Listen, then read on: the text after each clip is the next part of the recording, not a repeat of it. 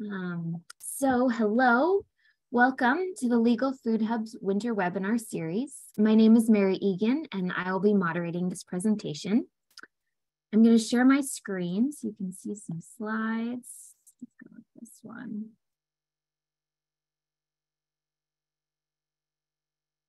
Tara and Bill, can you give me a thumbs up that you see my screen? Perfect, thank you. All good. Great. All right. So I work for the Legal Food Hub. It's a project of Conservation Law Foundation, and we work to connect farmers, food entrepreneurs, and nonprofits in the food space to pro bono attorney support. If you live in New England or and are in any of those careers, you are welcome to visit our website, www.legalfoodhub.org, and apply for our services. We'll determine if you're financially eligible, discuss your legal goals, and then work to find an attorney who can assist you for free. We also create educational materials. We have a resource library on our website with brief legal guides and webinars covering various topics. Our legal resources are designed to provide participants with foundational legal knowledge before meeting with an attorney. Follow us on Instagram at Legal Food Hub to be informed when new guides are released or when this webinar gets posted. Today, we'll be learning about onboarding employees, the process, common legal traps, and recommended documentation for your new employees. We are joined by Tara Walker and Bill Ware from Bernstein Shur. Tara is a labor and employment attorney. She has a strong litigation background with experience in federal and state courts involving all aspects of discrimination, harassment, and retaliation cases under state and federal law. Bill Ware is also an attorney in Bernstein Shur's labor and employment group.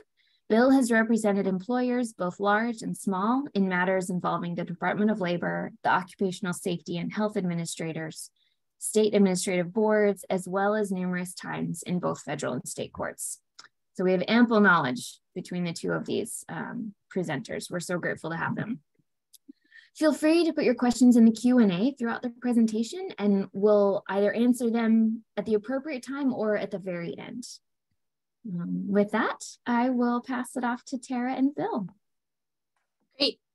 Thanks so much, Mary. Um, I appreciate that introduction and I'm going to try to move through these slides fairly quickly because I know we're getting started um, a few minutes late and we've got a lot to go through. Um, and um, I want to leave time for questions. But if, for those of you who were not on the call when we were discussing Q&A, if you have questions, please pop them in the Q&A and we're happy to be interrupted um, throughout the presentation. Mary can let us know if a question's been raised um, and, and we can answer it as we go. Um, Mary mentioned that Bill and I work in both work in Bernstein Shur's um, labor and employment practice group. We're both located in Portland, Maine, um, but we both represent clients throughout New England. So our presentation today is gonna focus on federal law and laws that we know are common to most New England states. We're not going to dive too much into Maine or Massachusetts or any of the specific state laws, but we will um, kind of advise you when it, it's time to check your particular state law on a point. Um, so th this is going to be a pretty um, quick presentation. We're going to cover a lot of information.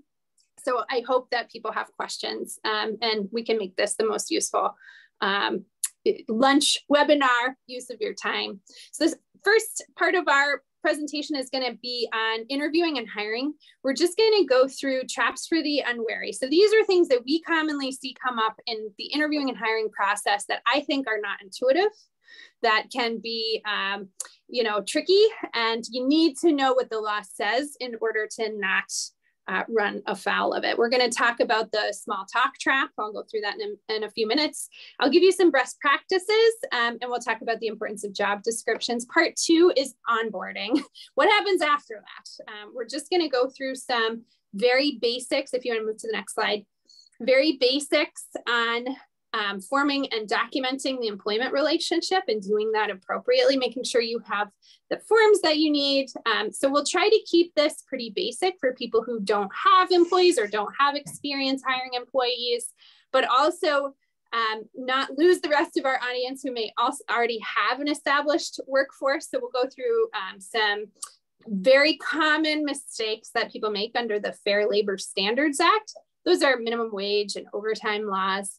We'll talk through some best practices, um, go through those common state law requirements. I think what's really helpful for especially businesses that are particularly small or don't have dedicated HR departments is knowing when you're going to trigger new requirements. Most of them are triggered by employee size. So, how many employees do you have? We're going to cover those um, major thresholds. You don't need to memorize them all, but it's nice to know where the thresholds are. For example, at 15 employees, we trigger these additional requirements. That's a good time to think about do we have policies? We'll go through those. And then we're going to talk through some fun hypotheticals that I think will keep, keep things interesting. So feel free to jump in at any time. Um, if you want to go through the next slide, um, we're going to start with part one, recruiting and hiring traps. Bill, feel free to jump in as you see appropriate. But I want to discuss first disability related inquiries. In hiring and interviewing, this is something that um, employers run into all the time. Particularly i think in the post-pandemic environment where i'm seeing a lot of this crop up is if there is some confusion or question about the capability for employees to engage in remote work. Is there a remote work opportunity here or do i need to perform all of the work on site sometimes that can be framed as an accommodation or a disability related request so what does the ADA say about um, disability related inquiries? First of all, what are they? A question or series of questions that are likely to elicit information about a disability. That's the EEOC definition. Next slide, please. And what does the Americans with Disabilities Act say? It prohibits you from making disability related inquiries, even if related to the job in the interviewing and hiring process.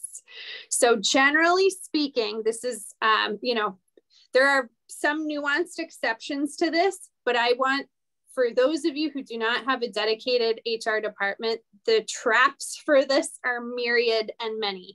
Um, so it is best to avoid making any questions, inquiries related or likely to elicit information about an employee's or applicant's disability status, even if they are related to the job.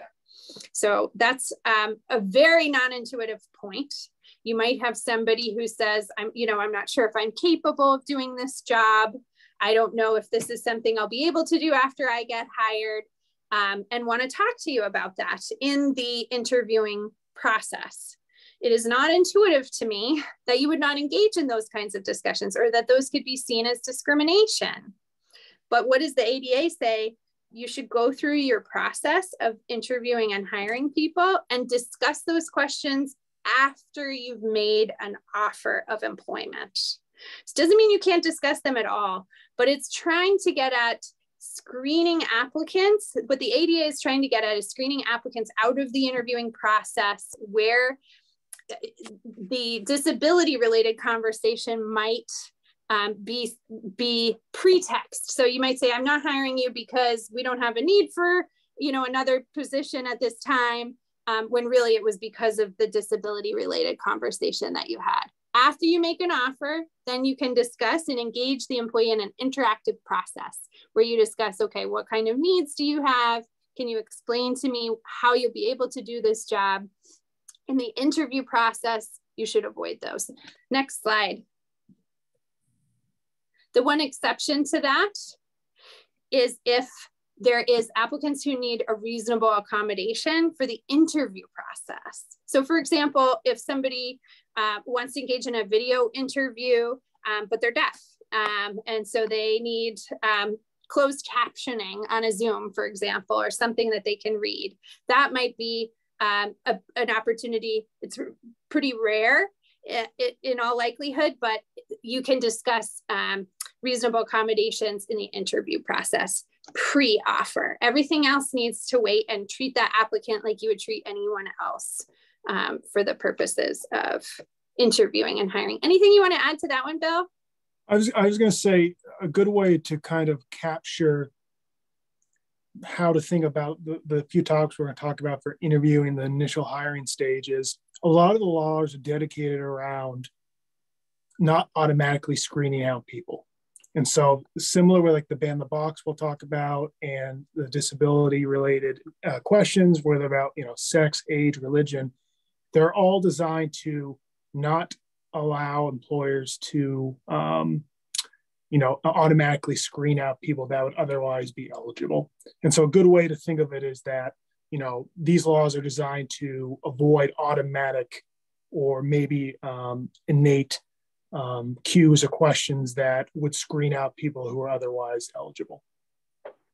That's a really good point. And, and we have a question I can see in the Q&A that's related to that. What happens if the applicant brings it up, right? Is that really an automatic or, or you know screening process if the applicant on their own discloses that they have a disability and they want to talk about it? My advice would be in general, what you should do is inform that applicant, thank you for sharing that. We follow the ADA or we follow our processes here and we can't discuss you know your needs or the nature of the position until after we've completed the interviewing process. I appreciate you disclosing that to us. Um, we will go through the interviewing process make sure you're a good fit for this position and then I'd be happy to engage with you in that conversation in the post offer setting. If you are ultimately selected and offered the position, we can discuss it then.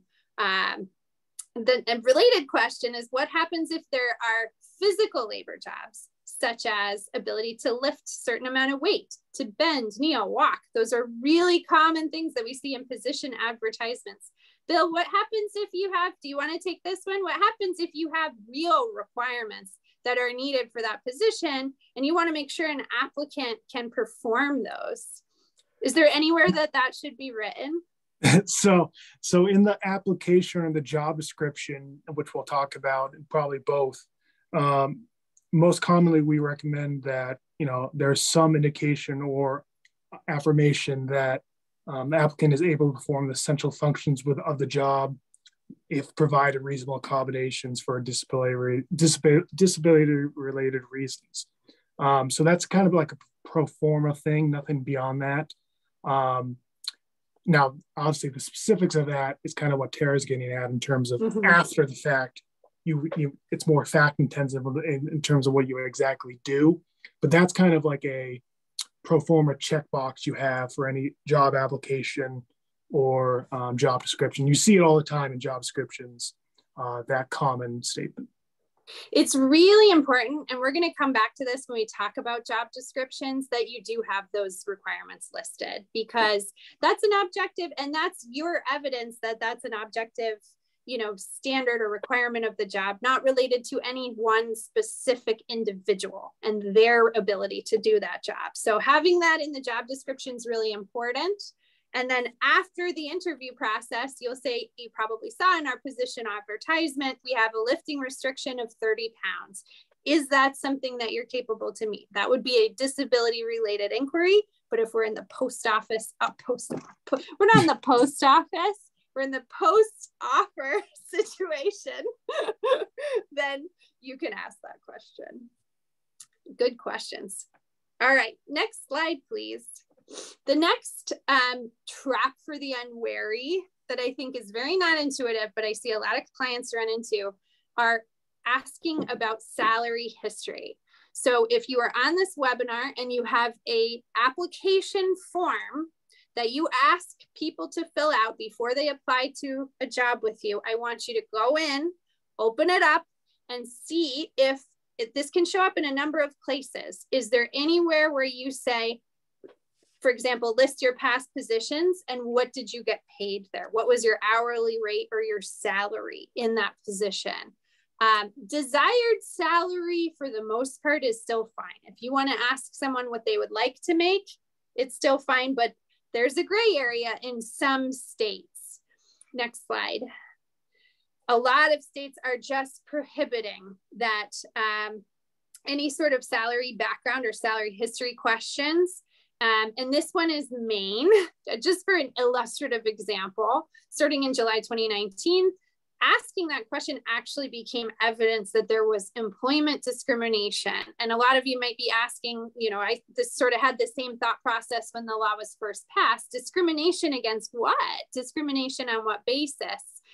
the theory behind a lot of these laws is that there's a disparity, widespread societal disparity of earnings between men and women employees, just generally, may not be any particular workplace, but one of the root causes, the theory goes, um, of that disparity is that lower pay rates and kind of arbitrarily lower salary rates follow people from job to job because of these questions.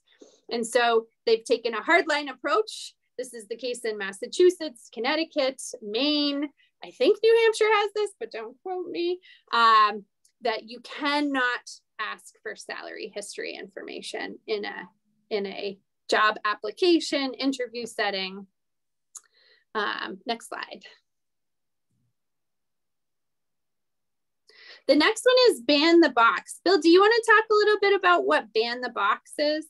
Yeah, so um, a lot of you might have heard, you know, it's, it's, a movement that's kind of taken hold in a lot of states. Um, this idea of it's called, you know, for short, ban the box, and it's the idea of not to disqualify individuals with criminal histories automatically, um, especially when the criminal record is not relevant to the job requirements.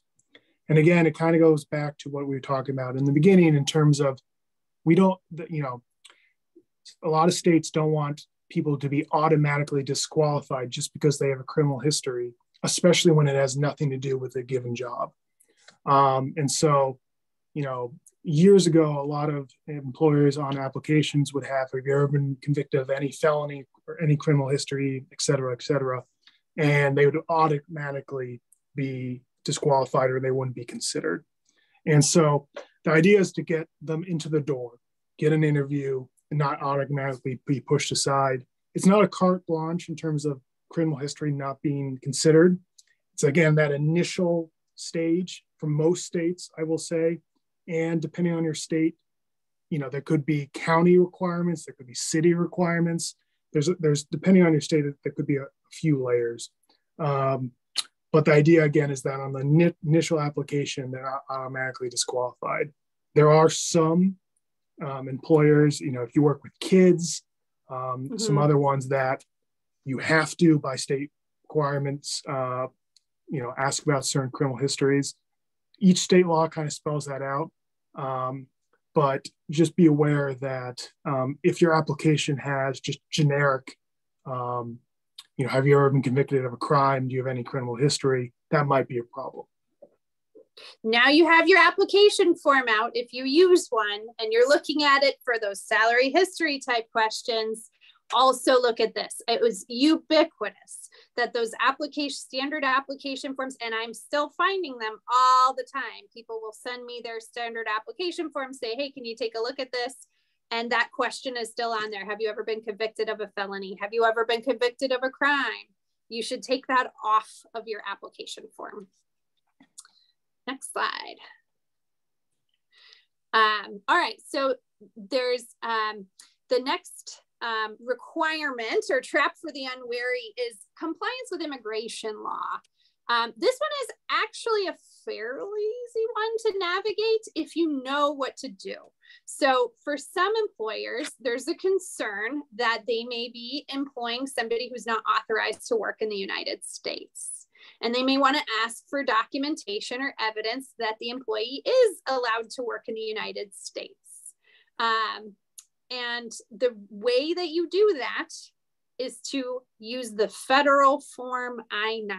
You can just Google that term. If that does not ring any bells for you, Google federal form I hyphen 9, and that will bring up the form for you. And if you have more than four employees, you have to collect these um, completed forms from all of your employees after three days of employment. So, right when they start, that's part of your onboarding. If you don't use the form, what has happened in the past is that some employers have engaged, I think, albeit well meaning, wanting to comply with immigration law and making sure people are authorized to work in the United States. I don't want to attribute well meaning. Maybe it wasn't well meaning, but they have engaged in national origin discrimination. And there's a quite a high likelihood that asking questions on your own would lead someone to be able to claim national origin based discrimination. So you should be using that form, having employees submit the documentation that's listed on that form. And there's lots of guidance out there about if, you know, some people will may bring to you documents that you might not recognize, documents you're not familiar with. There's a lot of guidance out there on what you can accept as evidence of their authorization to work in the United States on that Form I-9. So if you have it, you're in pretty good shape. Next slide. Oh, we went back to ban the box. Sorry about that. we could keep going to the next slide. Well, actually, Tara, if it's yeah. okay, there was a question that came in oh, about great. ban the box. So maybe we just ask that for now. Um, great, and it's yeah, a great yeah. one. So regarding ban the box, if I'm hiring a delivery driver for my farm's products, is it legal for me to ask about their driving record on their application? And then what about in the interview? This is going to be quite state law dependent. So, if, for example, in Maine, then asking about the applicant's driving record, for example, do you have a valid driver's license would be fine on the application form. It's especially part of the um, the um, the job requirements. So it's relevant. The second part of that question, what about in the interview? Under Maine's law, you could ask questions that are relevant to the job related to criminal history once you got out of the initial application stage. But you want to check your state law requirements because there's many states that are broader than this. So you just, you can even Google this. I wouldn't, you know, Google what your state is and that ban the box law or um, criminal history, employment law, you'll find what the state law requirements are and you can identify does it have any exceptions? Um, some states prohibit you from asking irrelevant criminal history background even in the interview process. So you just need to be careful. That answer is going to depend a little bit um, on the, the particular state law. Next slide All right. Um, so there are several protected classes that we know of and are very familiar with race, color, religion. I talked about national origin, disability. There are several religions on there twice. Whoops. Um, there are several of those, however, that I think are not intuitive for people and that are somewhat newer, for example. Um, and those include so I'm focusing here on things that I think might not necessarily be intuitive for people who don't have somebody with an HR background or a dedicated HR employee or consultant. Those might include things like marital status or familial status. Um, familial status is something that's protected in New York and Maine, um, and it includes things like having children in the home or custody of minor children. In Maine, it also means having an adult dependent. Those are things that I don't think people typically picture when they're thinking about people who belong to protected classes. I think it's intuitive for us. We all know by now that you don't ask an applicant whether they're pregnant or planning to get pregnant when you're in a job interview. That would be evidence of discrimination or could be evidence of discrimination in that process. But think also about marital status, familial status, or in New York and Maine, again, we have status as a victim of domestic violence. I want to go to the next slide, please. Let's talk about the context in which this might end up arising in the interview process. This is what we call the small talk trap. For most of us, including me, the um, temptation in an interview is to really want to get to know somebody. You know, probably many of you are thinking, I run a small business. I want to see if this person's going to jive with my team and me. And, uh, you know, do we get along? I want to know about them. But you should just be aware. We talked a little bit about um, the um, protected classes that aren't intuitive. Now we can talk about the small talk trap. So, usually outside of the context of actual interview questions, when you're saying, What's the worst mistake you ever made? Or why do you think you're qualified for this position? You might ask things like, Hey, you know, I saw when you scheduled this that you you wanted to move it out because you were out of the country for a few weeks. Did you go anywhere fun? Um, you might ask things about, Oh, do you have any kids? Do you have, um, are you married? just to get to know them. What about where did you go to high school or what year did you graduate from high school? Um, think about it, just behooves you to remember the context that you're in before you engage in this kind of conversational. Doesn't mean you can't engage in it, but just remember. I want to illustrate this with a call that I recently had from a client. Um, in that interview scenario, someone had done just that. I see that you just came back from, you know, you, you wanted to schedule because you were out of this country, out of the country. And the um, applicant ended up responding, yes, I was in um, France for the, week. Um, and the interviewer asked, oh, do you have family there? Actually, I don't even think it was France. I think it was Africa, right? So it's something that you might begin to associate. Do you have family? Is that where you're from? Later on, that applicant was not chosen for the position. And they raised this small talk, right? Is that where you're from? As evidence that the decision was based on, their concern was that the decision was based on the, the um, inappropriate questioning about where are you from or where are you really from, which some people can interpret um, as being a little bit of a forward or maybe um, leading question around national origin or racial background. So just be careful. Realize it's very intuitive for us to notice that in the context of an interview, you would never say, Are you going to get pregnant? You would never say, We're only hiring married people here. Um, so outside the interview, you may be eliciting that same information just by having the small talk. Again, it doesn't mean don't do it, but be aware of what these questions might elicit. Maybe you want to be more careful about the kinds of questions that you're asking applicants so that you don't inadvertently make them believe that the decision not to hire them was on the basis of a protected class. Next slide. Tara, someone did double check after they in, they're in the job. Can you ask about having kids, etc.? Seems like a way to get to know employees as a person. Yeah, absolutely. I think we want to use logic as our best guide here and common sense. You can absolutely get to know your employees. And again, you might end up asking, you know, relevant questions about um, an employee's background, but you might be more careful about it, right? You might not ask, do you have any kids in the interview? Um, but later on, you might ask that question and it might not, it, it certainly wouldn't necessarily be seen as evidence of discrimination often what we see where we end up getting calls from our clients is when the employee is unhappy. Something else is happening right? They're undergoing a performance review that's not very good. They are really on thin ice in terms of maybe on the road to termination.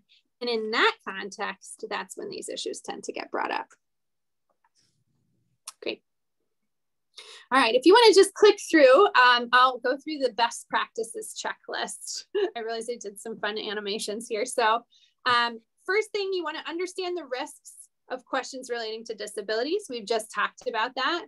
Understand the risks about asking for salary history, criminal history, and talking about protected classes. That's why you're here. So you can already check that one off. Avoid small talk that would be prohibited if asked in the context of an interview. I think that's a pretty good guide for how you should engage in small talk. Come prepared to interviews. This is a really good one for avoiding um, failure to hire claims for on the basis of a protected class because almost everyone belongs to a protected class or another. Um, so if you have job related questions, you keep them consistent from applicant to applicant, you have evidence that the the decision that you made was based on their answers, not on their individual personal circumstances. Communicate expectations about the job responsibilities. This includes going back to our original question. Hey, we, we are expecting that the applicant can successfully be able to stock the shelves or lift these things. Um, that's fine to discuss. You don't want to ask anybody about their particular medical conditions, but you absolutely can and should talk about what the job will be um, entailing. And we'll talk about job descriptions in a second. When you write them, you should bring them with you um, to the interview. It helps you keep focused on what the job's actually going to require. Um, when in doubt, I have people operations here, HR consultants, your attorney, any of those are really great resources for you. If you have an HR consultant that you work with, you have um, a, a lawyer that you go to, those are who you need to go to about these kinds of questions. I saw an, a, a question in the chat I'm reserving um, for what happens if you want to withdraw someone's candidacy. That's when you want to contact counsel. Um, the person evidently can't do the job and isn't going to be able to meet those physical requirements. You have obligations before you withdraw that person's offer, including finding them something, a, an open position that they can do. So you want to make sure that you're complying with all those. Keep notes about your decisions um, on the reasons for hiring, that those are not related to any protected classes. Next slide. All right, job descriptions. Bill, do you want to talk a little bit about this? I'm happy to do it as well. Yeah, so job descriptions, we like to say, are an employer's best friend because they should spell out everything you imagine the job entails. And most importantly, that means essential functions. Those junk, those functions that are essential in order to perform the job, physical, mental, etc. They should all be spelled out there. And perhaps the most important thing we'll note for this is, you know, a lot of time we see um, employers, especially small employers, um, when they come up with a job script for the first time, it's usually pretty good. It's pretty accurate. It, it entails what they want, but they don't update it. And if the job changes, or you, or the company, or um, your, you know, your entity changes, and the job changes, you have to update it. And the employee needs to sign an updated job description. We recommend that basically every year a job description should be signed, reviewed, and then included in their personnel file. I cannot tell you how many times I've talked to someone about, you know, what the essential functions of the job are. We get to the job description and it lists an address that was 20 years old from, from where the company was. That's that's that's that's just setting up more issues that you don't need. Um, and so, you know, and having the employee sign is also a very good way, good practice of making sure there's no dispute that they didn't know that was an essential function or they were not aware they were supposed to be doing X, Y, and Z. So it kind of just helps um, rebut any issues down the line. For those of you who are looking at this and saying, what the heck is the job description? My response to that would be you created a position advertisement to, to elicit applications. That's basically the bones of what you need to create. Next slide, please. What else should be in a job description? We'll cover that in just a second. But I think if you have the position advertisement, I would start using that as your job description. Bill talked about a couple of really important things, and I'll just kind of revisit those in a second. That roles that a job description plays, why we tell you that it's your best friend when you're hiring employees, it's legally very important, but it's also from an employee relations perspective, a really important tool that you have as a manager of someone else. Um, it's the first opportunity, and I think a really good opportunity for you to communicate with that employee what you're expecting them to do. You're solidifying it in your own mind and you're communicating it to them, and having them sign it is evidence that they've received it and understand it. It should also contain, so Bill talked about essential functions. What we're really talking about, let's go back to our questions about ADA and what happens if an applicant can't fulfill one of those physical standards, those parts of the job description we see all the time. This is why those job descriptions contain what I think sometimes can read as very strange language. You must be able to bend, kneel, lift um, so many pounds, it really is important for you to think about whether any of those physical requirements are essential for the job that you're advertising for. And if they are, to include them.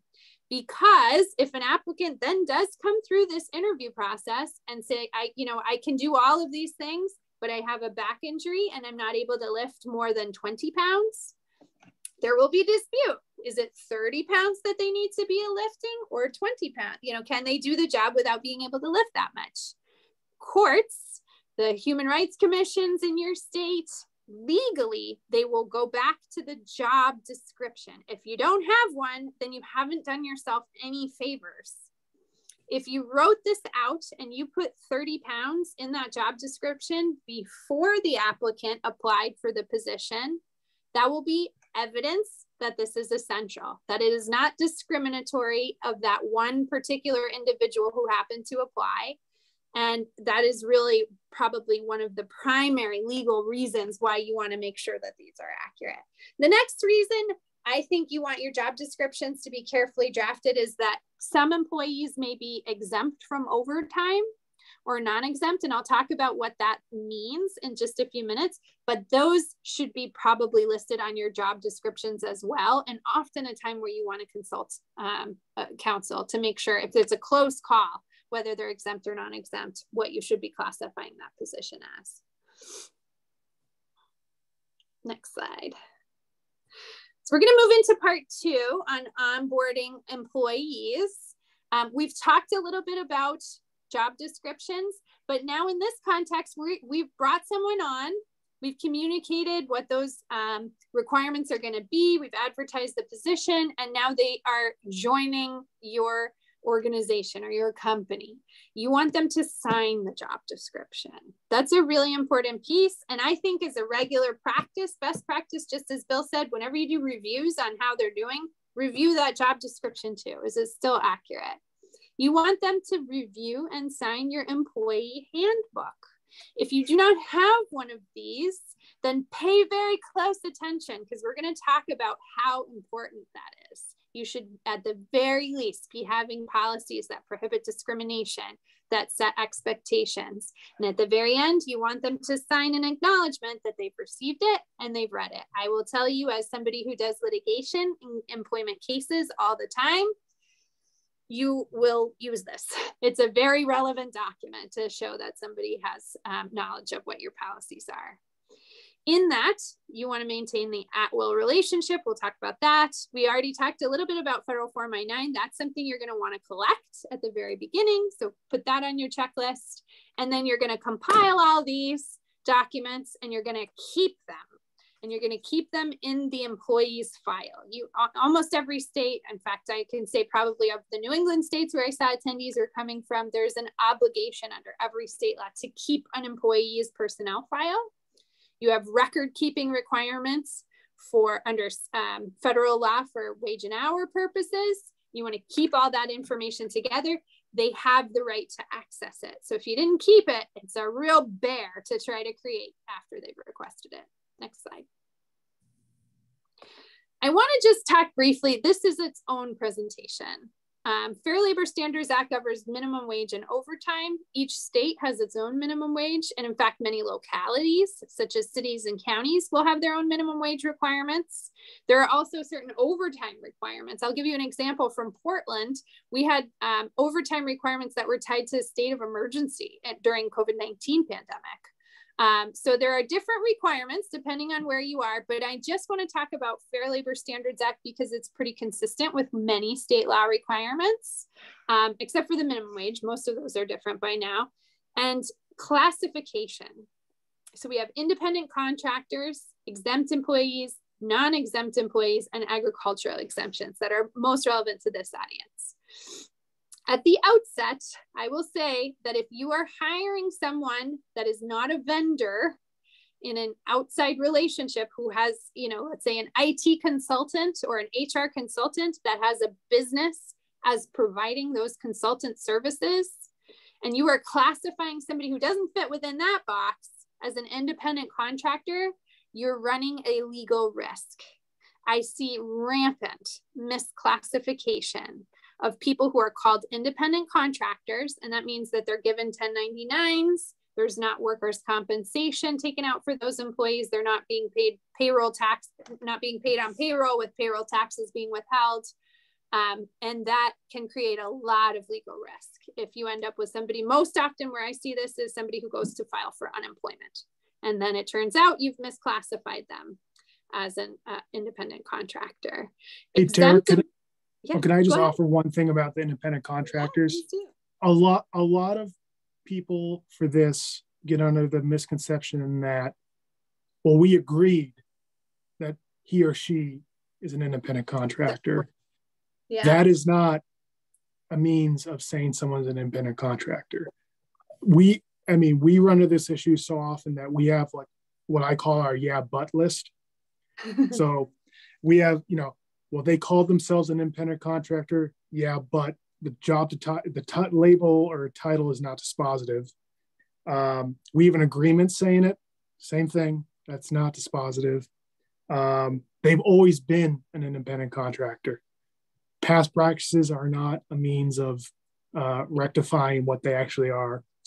So it's just, you know, be very wary of that. You know, if someone if someone's acting as their in fact their own business, then then then possibly they are. But it's it's a very delicate line, and it's some of it's a little non-intuitive. Someone comes to you says, "I'm an independent contractor," you're like, "Oh, great," but it, it's it's very fact intensive, and you have to be very careful of that line. That's a really great point. Yeah, we see there's a lot of a lot of people who do this, so just be really careful. Um, there most state laws, unemployment.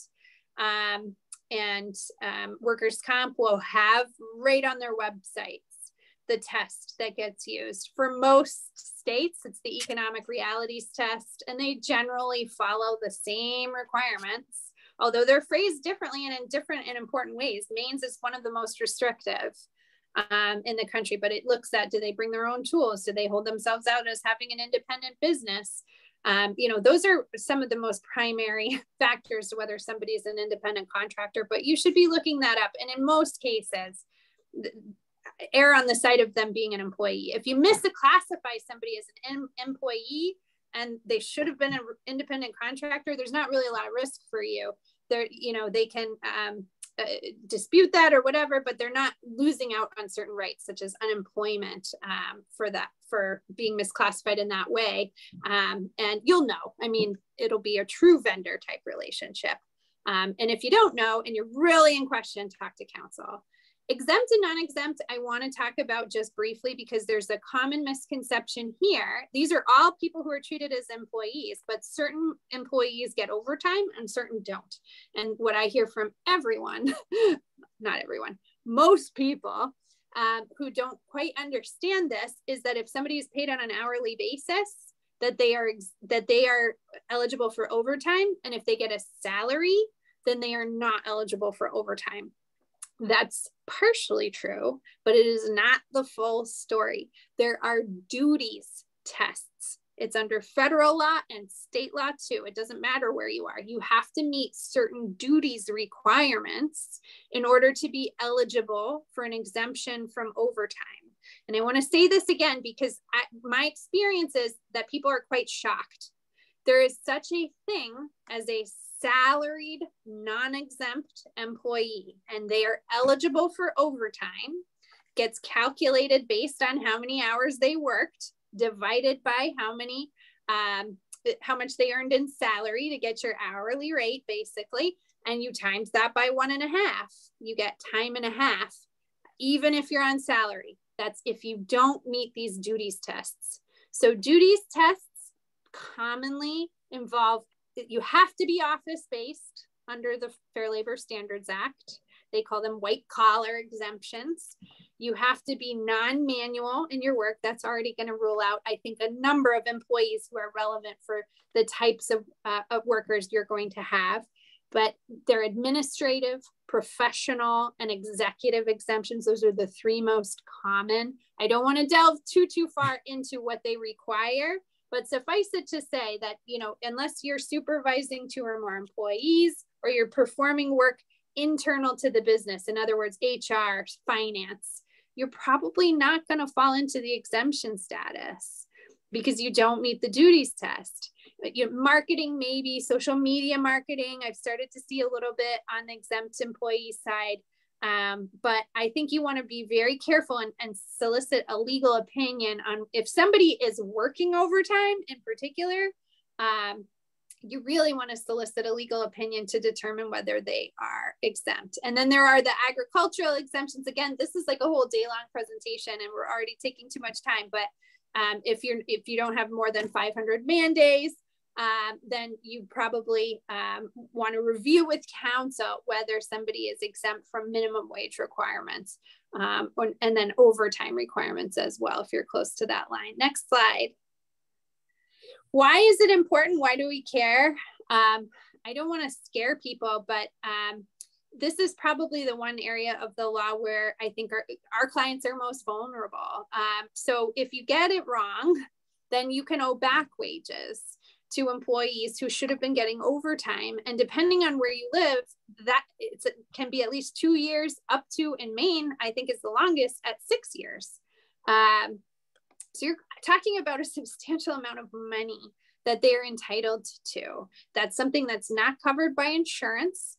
Um, and it's subject to the potential for treble damages and the employees can get attorney's fees even if your employees don't bring this up which they can they can um, raise this or sue um, to seek back wages the department of labor can raise this um, and I, have seen you know a fair bit of this um, in recent years where um, the department of labor is finding people classified as uh, exempt when they shouldn't be so-called straight time for overtime cases, those are, are um, problematic and it can be a lot.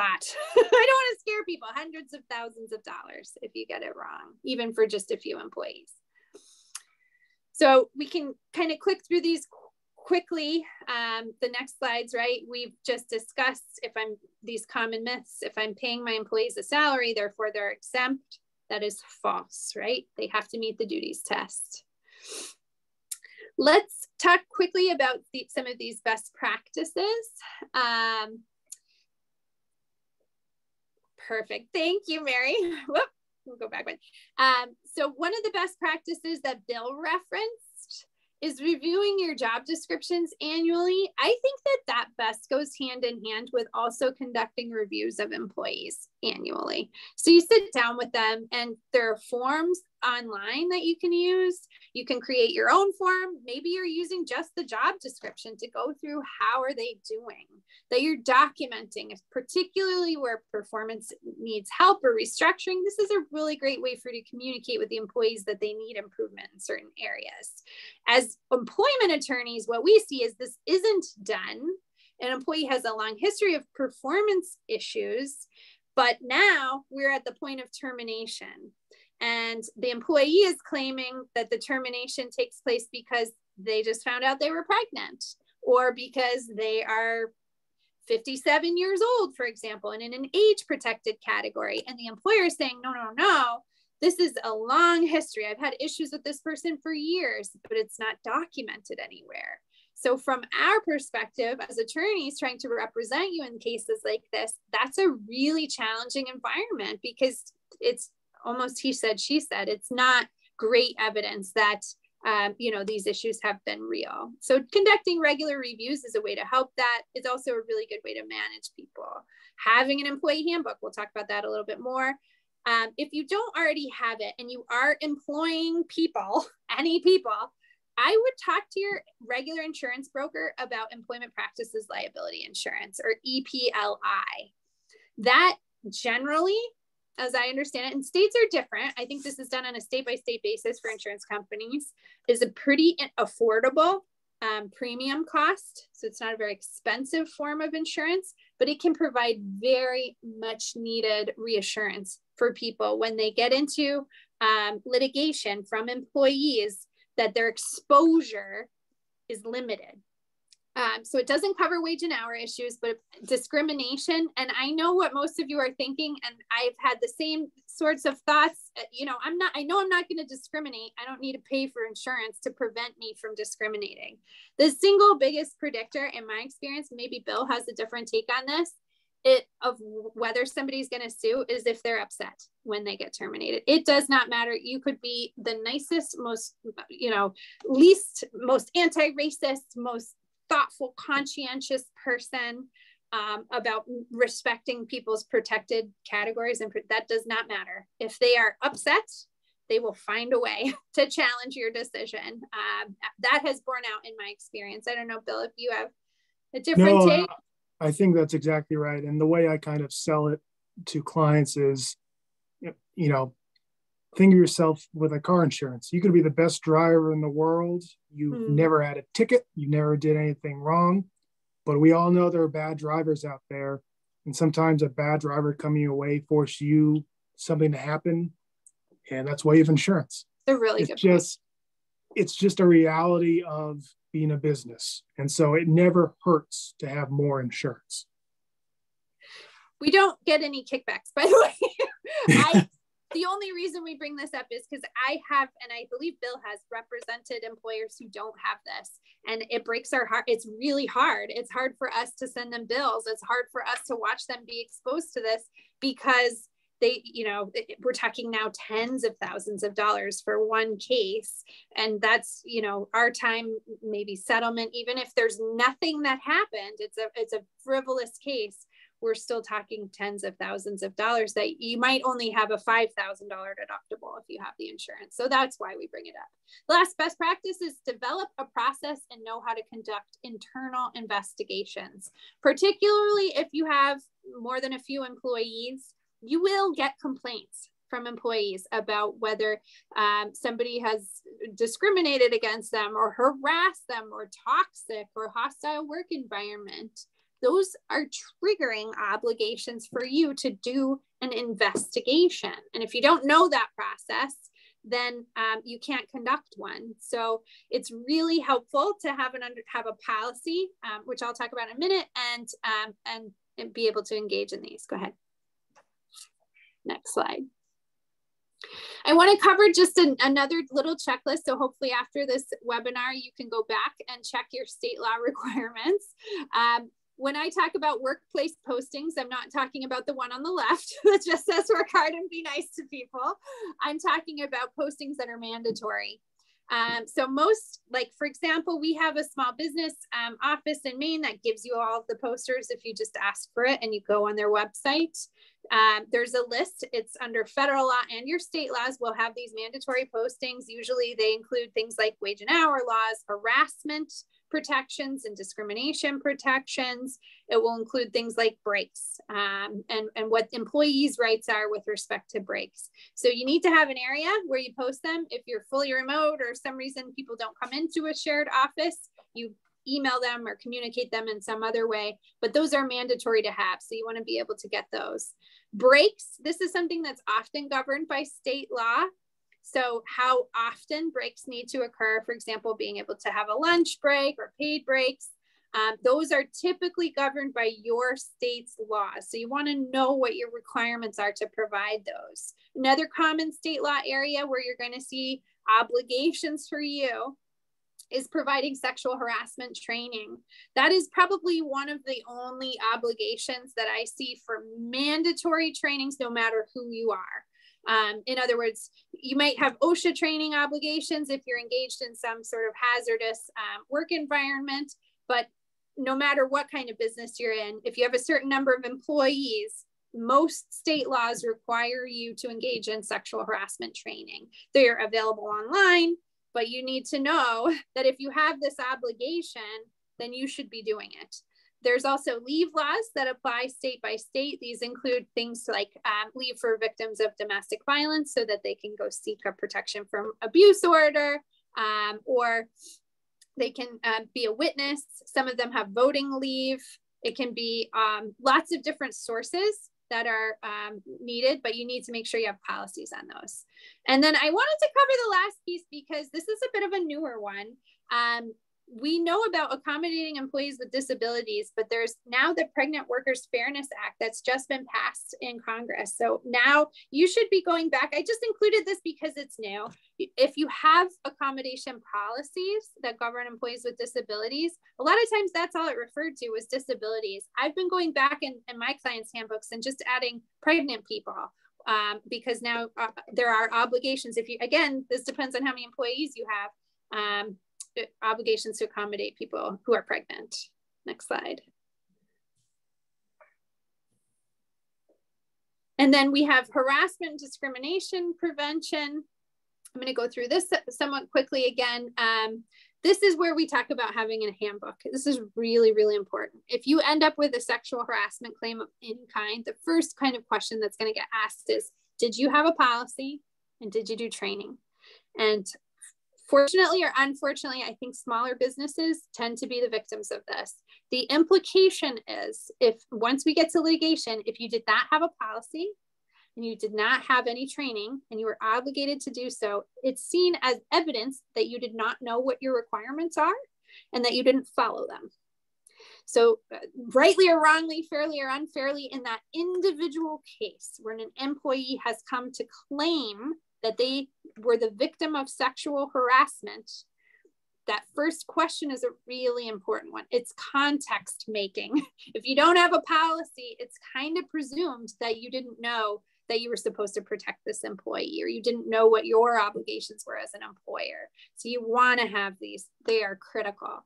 Um, this is my little internal checklist for what you need to have. Um, a non-discrimination policy. I mean, that's federal, most federal laws and state laws. You have an equal equal employment opportunity or non-discrimination policy, anti-harassment. So that prohibits other employees from engaging in harassment. Um, it prevents employees from engaging in harassment of other employees. Sexual harassment, similar, but the policies are different.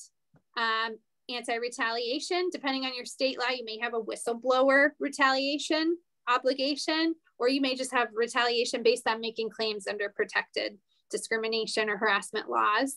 But you want a policy that prohibits retaliation, and you want a policy that governs how employees can make complaints. So that will say something like, and if you want to make a complaint, you go to the owner. If the complaint is about the owner, you can go to this other person and describe what has happened to you. An investigation will take place. We'll make a decision based on the evidence. Those procedures are really important. Um, so I would recommend that you talk to counsel about getting those um, or an HR consultant who can provide you with those policies. And you want to train people who are investigating on that process. Next slide. So this, we're just going to go through very quickly. This again is my list of um, what's going to be triggered when um, you grow. So if you look at the very top of these next few slides, you'll see the number of employees. So this, these are the state laws that apply if you have just one employee.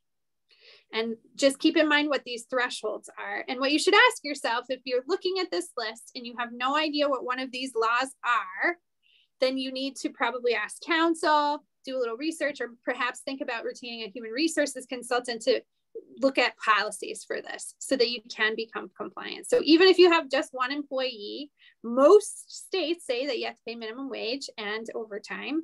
So does the Fair, Fair, Fair Labor Standards Act. Most states say you have to comply with non-discrimination laws. You'll see that there are other um, triggers for federal laws for age and disability, usually when you get to 15 employees. But state laws almost always apply even if you only have one employee. They prohibit you from engaging in discrimination. Um, the breaks for nursing mothers, this is one I forgot to mention when I was talking about breaks, but requires you to allow employees who are pumping um, nursing mothers to give um, breaks for being able to express breast milk in the workplace in a place other than a bathroom, Equal Pay Act. Um, that requires um, equal pay for equal work. This is the federal law.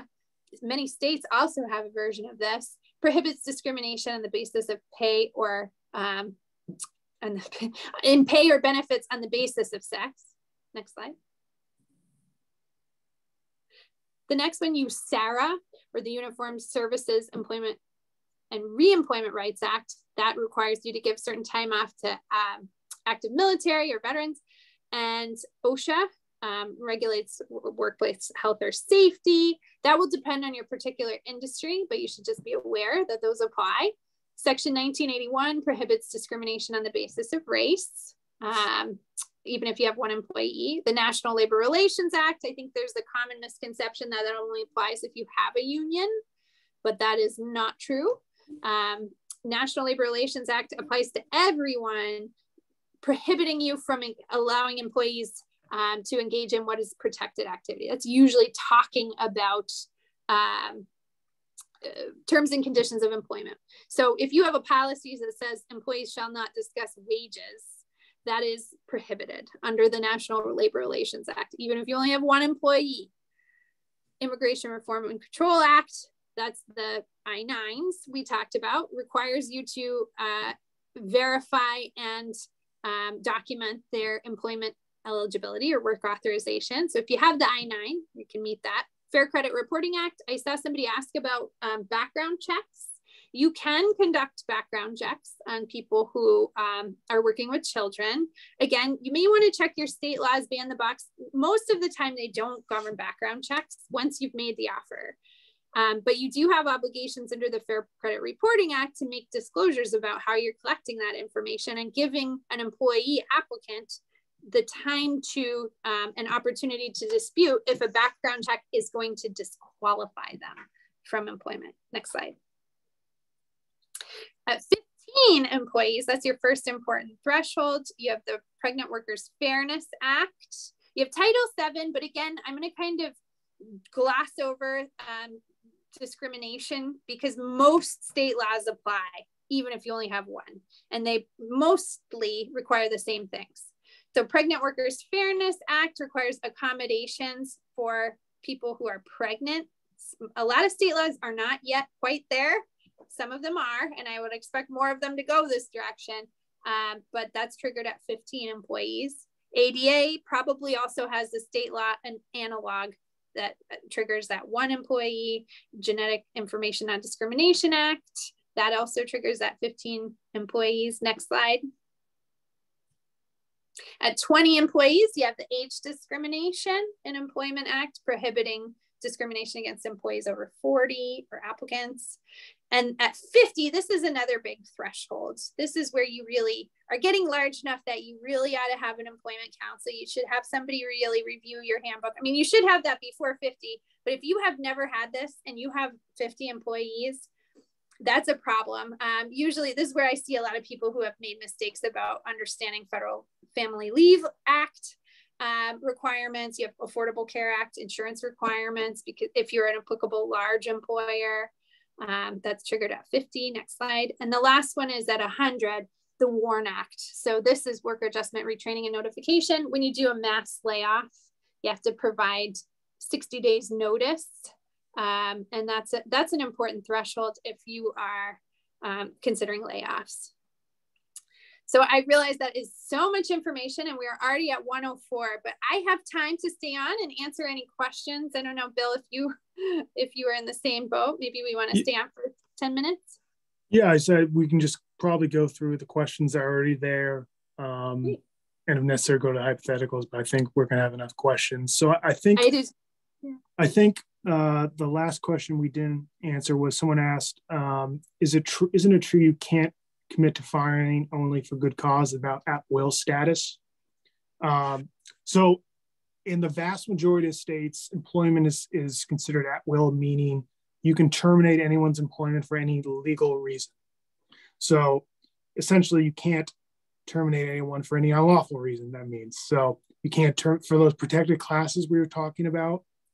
Um, as long as you don't terminate someone for one of those reasons, and there's some others, but generally that's it. You can terminate uh, any employee for any reason, any lawful reason. Let me see. That's a great question. Um, I know there gets there can be a lot of confusion around that, and and the reason I wanted to include that is if you have handbook language, or maybe you send employees an offer letter when you want to offer them a position. You want to be really careful just to make sure you'll see this repeatedly. This is at will, this position is at will. The reason that we ask for that is because you can inadvertently trigger for cause employment by referencing a specific term. We're hiring you for the 2023 season. Um, if you don't specifically say that it's at will, that might implicate that this is actually a for cause situation or that it's an employment contract for a specific duration. So you just want to make sure to reiterate wherever you can that this is at will employment. And so uh, it looks like a few other folks were asking about handbooks, policies, and that, and where they can find them. So there, there are a few free resources depending on your state. I recommend looking at your state's Department of Labor, your state's um, Small Business Administration might have something. Your local Chamber of Commerce might also have something. A lot of times, organizations like that will publish things. Um, that you know updates for uh, employers of 10 or more 15 or more. Sometimes they'll have um, handbooks they can also provide depending whether whether or not you're a member. So those a lot of those entities will have things to kind of help you along the way. The other um, helpful resource I've sometimes used is what's called Society for Human Resources Management or SHRM, S H R M. If you Google them, like SHRM and whatever policy you're looking for, they have a lot of templates online. And um, most of the time, they're pretty good. I will say, in my this is what I tell my clients having a handbook that's drafted appropriately and is uh, consistent with your state's requirements is worth its weight in gold because it's your instruction manual. How would you ever know how to comply with all these kind of confusing requirements without having something there that dictates how you do it? So, um, if you can, I, this is an, a, an investment that I think is well worth making. Um, to try to get a really good handbook that has either been reviewed or drafted by a lawyer. I think that's that's a really helpful piece. All right, Bill, did you see any other? I'm just looking uh, through some of these questions. I'm deliberately skipping because they get down a rabbit hole, but yeah. Um, I think one general question looking at some of them might be, you know, how do you count temporary employees for purposes of those some of the laws in terms of like 15 versus 20 versus 50. And so by and large, that's a very, uh, it depends question. I that's, you know, unfortunately that's an attorney's favorite phrase. It depends. Um, so it really does depend though on the applicable law, how long someone's a temporary employee, whether or not they're going to come back, whether or not they're, you know, expected to come back.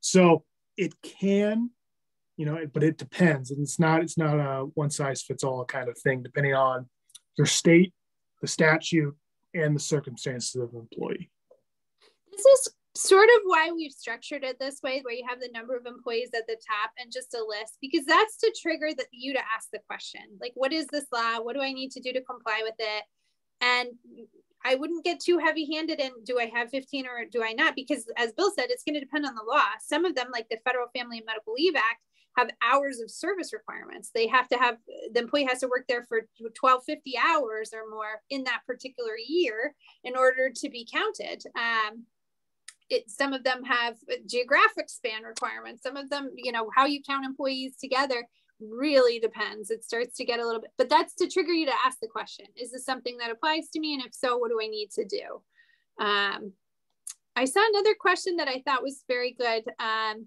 is it oh shoot, I just lost it. I, I saw someone ask quickly just about uh, the entity you mentioned, Tara. So it's it's the Society for hum, Human Resources Management. So yes. SHRM, and you'll see they have a ton of stuff on there. Um, yeah. Um, one anonymous attendee says, "Can you your job description and employee handbook legally require drug testing in the event of an on-the-job accident?" That's going to depend on your state law. Um, most times, so you're this is suspicion-based drug testing. Um, most times, in a lot of states, that would be fine. In Maine, that is not fine. In Maine, you have to get DOL approval of any drug testing policy, including a suspicion based drug testing policy, uh, in order to do any drug testing of employee. don't ask me why that's the law here. It's been the law here for years, and I don't quite understand um, why they've heavily restricted drug testing, particularly in a situation like this where safety is at issue, but that's what they've done. So um, that is kind of, another kind of it depends on your state law, but for the most part, it, it's usually fine. But um, you should check your state law on drug testing. Making the time period of a specific employment opportunity explicit in the offer letter is fine to do. I saw somebody ask that question. Um, that may trigger for cause employment if you don't have that caveat language that says this is at will. Even if you say we're hiring you for the 2023 season, um, if you know growing season, you, you can say there's a spe- expected end date, but at any time we can choose to terminate you for any lawful reason. That's that's got to be explicit or the language about the season will be interpreted as overriding that at will relationship. From a cost perspective, one of the people, uh, that's a good question. What should we expect a lawyer to um, create an employee handbook and related policies? Depends on the lawyer. Um, Depends on where they are too. Yeah, some some state laws are really really complicated, but I I will say for us, generally runs about two thousand dollars. That's about what I would say in terms. Of, I do some flat fee work, I do some hourly work, and they end up being just about the same in my. I try to measure like how how fair is this, and if I'm outsized, um, but it usually runs for our offices about that. Yeah. All right, I'm looking, it's 112. So I don't know. Do we want to take one more and let people get on with their day? Let's see. Where can we find the right paperwork to hire our first employee? And how do we and where do we file it? I think that's a good one to end on because it's a pretty good consolidation and review. I think you can start with the slides from this presentation. That's going to give you a good um, overview of the paperwork. So um, you at the very least want to have certain requirements. If this is your very first employee, you want to have, you want to look at workers' compensation. You want to look at um, employment taxes and withholding. Um, so those are probably going to be found on your state DOL websites right. uh, or state workers' compensation board websites. Yeah. And so I, I did see someone ask about workers' comp. Um, I will say, depending on your area and what state you're in, workers' comp varies in terms of really whether or not you need it. So it is, it is, it's a depends for that one as well. Um, so I, you know, I think what Tara also mentioned, take this, you can take this PowerPoint and you can make it into a checklist and you have a checklist for each employee of doing the same things, a methodical way of going about it all great questions. I really hope that this was helpful for the people that are attending. And thank you so much for paying attention. I know it's a beautiful day and for some of us anyway. so thank you for for attending. Yeah. No, thank you so much, Tara and Bill. We're we're right on time. We have until 1:15. So if any of those were burning questions, but um, I'll let you move on with your day as we've wrapped up. Thank you so much. Thank you so much. Thank you. Have a good day, everyone.